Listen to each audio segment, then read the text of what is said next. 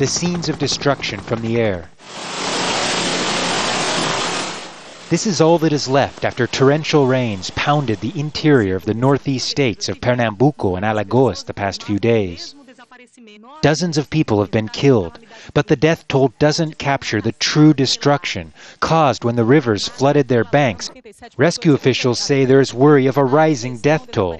They say as many as hundreds are still unaccounted for, mostly from small rural towns in the middle of the two affected states. Those who have survived the floods and mudslides have lost their homes and are now on the move, carrying all they have on their backs. Others are taking shelter in local schools. A state of emergency has been declared. Doctors flown in to help tend to the sick say there is now worry of waterborne disease spreading.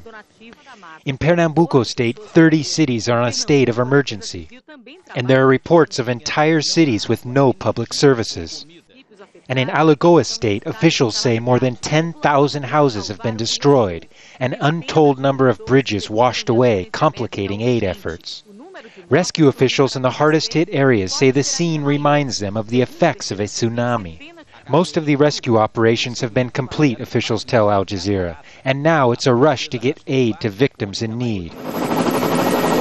The military has been called in to help, and there might be more to come as the forecast calls for more rains in the coming days.